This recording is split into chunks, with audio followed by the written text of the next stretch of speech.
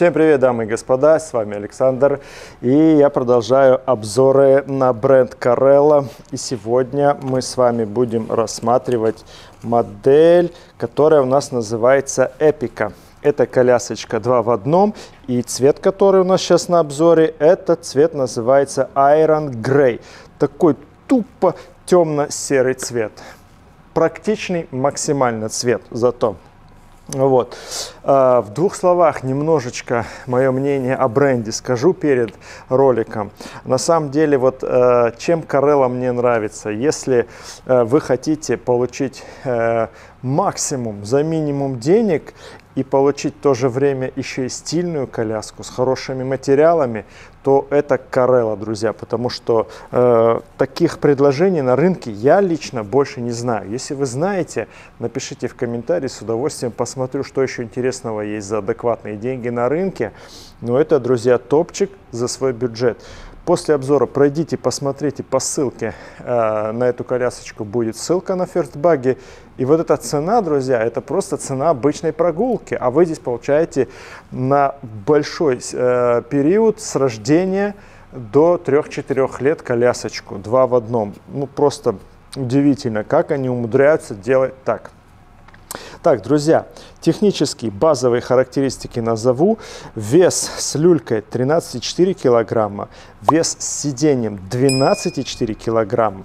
Прогулочный блок, э, вот он у нас, до него дойдем, 120, 170 градусов угол наклона. 57 сантиметров, что классно, здесь ширина колесной базы. И люлька, друзья, здесь здоровенная, 78 на 33. Это очень большая люлька. Так, 22 килограмма выдерживает ребеночка. И э, что еще? В принципе, все. Давайте изучать будем с, по традиции с люльки начнем. Ей в любом случае первой начинаем пользоваться. И сразу скажу про ткани. Друзья, это не какой-то там премиальный материал, это хороший среднего уровня материал, который имеет пропиточку, которая отталкивает влагу, защиту от ультрафиолета. В принципе, полный необходимый пакет.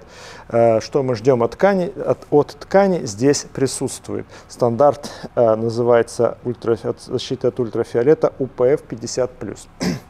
В общем, все как во взрослых дорогих колясочках здесь есть. Ткань приятная, все хорошо.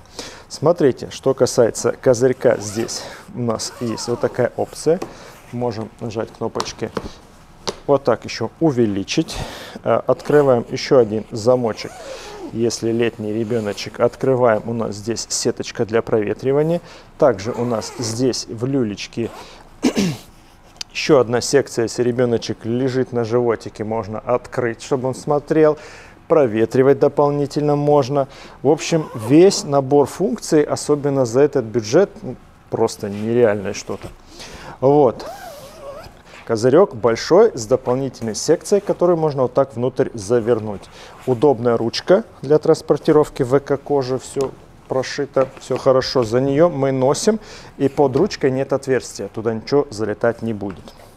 Что еще мне нравится? Здесь высоченный, просто нереального размера козырек. Если в зиму попали, туда я не знаю, что нужно, что за ветер, чтобы туда что-то задуло. Вот такая маленькая щель сверху. Смотровое окошечко тоже присутствует. Сейчас я вам покажу эту всю накидочку. Она у нас фиксируется здесь на замочек. И вот таким вот образом это все выглядит. Вот такая вот накидочка. Сейчас я постараюсь ее вообще отстегнуть. Она здесь на замочках. Хотя, в принципе, для чего я буду ее отстегивать? Здесь это ничего вам не даст. Я сейчас уберу пока что в сторонку сумочку, и вы посмотрите на это. Что мне нравится в таких накидках, когда они на замочке, а, мы можем вот так по бокам отстегнуть и вот так вот отвернуть накидочку, и у нас образуется удобный доступ к ребеночку.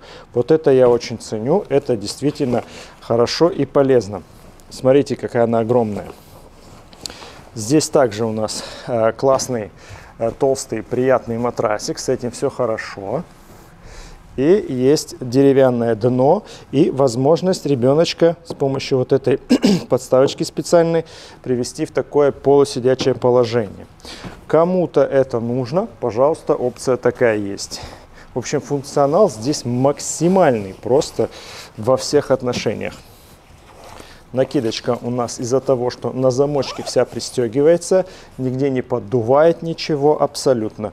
Плюс еще сверху вот такая вот накладочка. Я бы ее назвал уже как декоративный.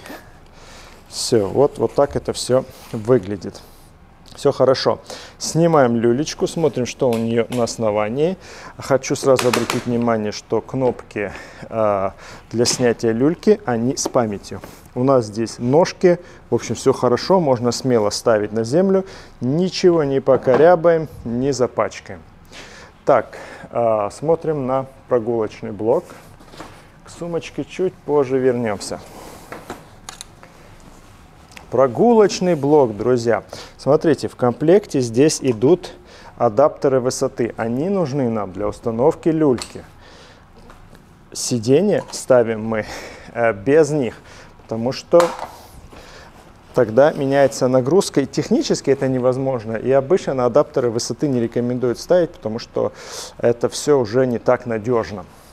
Так, накидку сейчас посмотрим. В общем, блок здесь реверсивный и по ходу движения, и против хода движения ставится. Вот таким образом.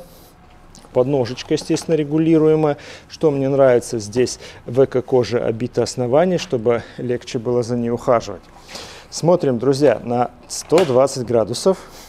Принципе, этого достаточно, чтобы ребенок комфортно сидел, не был сильно завален назад, с этим все хорошо. 170 градусов. Смотрим на максимально выдвинутый козырек, козырек в лежачем положении. Ну, классическая схема, в принципе, половину ребенка закрывает. Чтобы регулировать спиночку, у нас здесь вот такая вот система регулировки, рычажок. Мы можем регулировать по высоте с вами козыречек. Смотрите, как это выглядит. Опять же, пройдите после обзора, посмотрите цену и вот весь этот функционал, который включен в эти деньги. Ну, удивительно. Так, а, пятиточные ремни. Мягкие накладочки на паховой зоне есть и на плечах. Также есть перемычка на бампере. Бампер у нас можно отстегнуть. Так, где его кнопочка? Вот она. Отстегнуть. Если перемычку убираем, то он у нас откидывается полностью в сторонку для удобной посадки ребенка тоже максимально круто. Вот так вот. Так, что касается блока, мы с вами разобрались. Здесь все понятно, классический нормальный блок. Достаточно, кстати, мягкий здесь матрасик используется в основании. При долгих прогулках ребенок нормально себя будет комфортно чувствовать. То, что он реверсивный, я уже вам говорил. Давайте дальше смотрим на шасси. Ручка, друзья, Эко-кожа, мягкая, приятная эко-кожа, все супер, прострочечка, э, хват здесь классный, потому что ручка достаточно толстая, все как я люблю, вот мне нравится, когда я удобно держусь за ручку. Она регулируемая по высоте телескопическим образом, то есть, когда вы высоко поднимаете, коляска дальше от вас, вы не пинаете раму. Но вы еще и не пинаете, потому что вот эту ось вынесли наверх, она не идет полностью по колесной, э, скажем так, э, по центру колес. Ее вывесли, вынесли наверх, и тем, тем более вы пинать не будете. Так, теперь давайте посмотрим, что у нас из себя представляет основание, что у нас здесь интересного. Здесь у нас а, резиновые колеса, они не надувные. Амортизация. Передние колеса, естественно, имеют возможность блокировочки. Если нужно какую-то неровность преодолеть, пожалуйста, без проблем. А, доступ в багажник у нас здесь, друзья, лучше всего реализован спереди. Сзади у нас здесь, смотрите, как все сделано. Кармашек дополнительный для чего-нибудь. Дальше у нас есть вот такое вот отверстие, чтобы можно было что-то опускать в багажник. Как бы здорово, конечно, прикольно, но я люблю, когда нормальный, удобный доступ, закидываешь туда. Но конструкция колясочки немножечко отличается, поэтому здесь лучше закидывать все спереди. Нагрузку багажник выдерживает здесь э, в 3 килограмма, поэтому принципе для жизни хватает. Колеса, естественно, и задние с амортизатором все хорошо. Тормоз классический нужно снизу ковырнуть обувью, поэтому не самое лучшее решение, ну как в большинстве. Что касается того, как она у нас складывается, давайте посмотрим, как это делается. Что нам для этого нужно. Вот таким образом. Потом здесь ручка. Отсюда виднее. Ручка есть. За нее тянем, кнопочку нажимаем. И получаем вот такую компактную конструкцию. Это можно делать и по ходу движения, и против хода движения. Опять же, вспоминаем, друзья, стоимость и понимаем, что максимально навороченная коляска за минимальный прайс. Поэтому вот действительно рекомендую обязательно обратите на нее внимание, когда будете выбирать. Карелла у них достаточно хорошая история по э, сервисному обслуживанию. Я имею в виду, что они достаточно надежные коляски, и так что там ломаются постоянно, что-то такого даже близко нет. Хорошая э, колясочка за свой бюджет, вопросов к ней в принципе нету. Поэтому почему бы вам ее не рекомендовать? Вы можете приехать в любой наш магазин, у нас много по России магазинов, все это поюзать, посмотреть, пощупать, вот, и, соответственно, уже определиться. Напоминаю, ссылка внизу в описании. Пройдите, посмотрите. А вам лишь хочу пожелать сделать хороший, грамотный выбор. Всем пока.